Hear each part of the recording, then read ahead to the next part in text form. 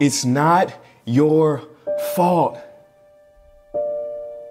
See, abuse comes in many forms. Some people abuse your, your trust, your kindness, your loyalty, your heart. Sometimes we can't see the abuse when it's right in our face because we think, oh, it can't happen to me.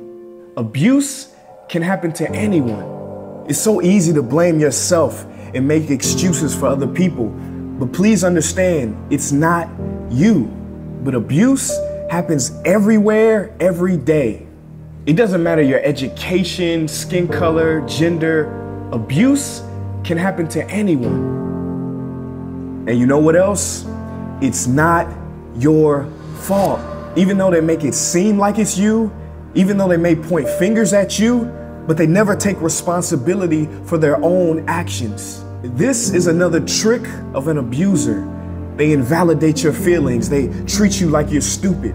They play mind games. They manipulate you. They, they gaslight you. They make you question your own, your own memory and sanity.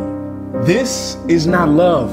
Love and fear don't go hand in hand. If you have to walk on eggshells, that's not love. If they want you to feel sorry for them all the time, that's not love. If you can't be yourself around them, that's not love. I know it can be so hard to get out of this toxic environment, but you have to look within and find the courage to stand up, the courage to walk away from somebody that is no longer serving you. When you summon the courage to stop serving someone who is not serving you, when you stop being loyal to somebody who's not being loyal to you, if you lose them, that is not a loss, that's a gain. You are not a victim, you are a survivor. I know it's hard to leave but I want to tell you a story that I heard a long time ago. See, once upon a time, there was a man. And this man, he was visiting his friend's house. He hadn't seen this friend for years, so he was happy to reconnect. As his friend was giving him the house tour, he heard a sound, something crying. So he looked around and he noticed his friend's dog was crying in the corner. He asked his friend, Is your dog okay? The friend said, Yeah, he's fine. Well, why is he whimpering like that? Oh, he's just laying on a nail.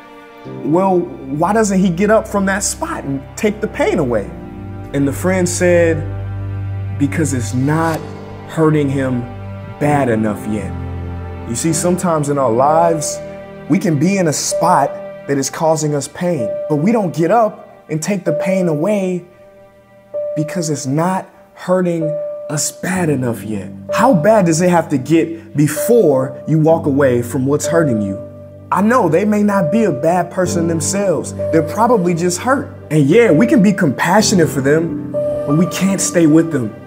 Yeah, they had a bad upbringing, this or that, but it's not your job to fix them. It's a full time job to fix yourself.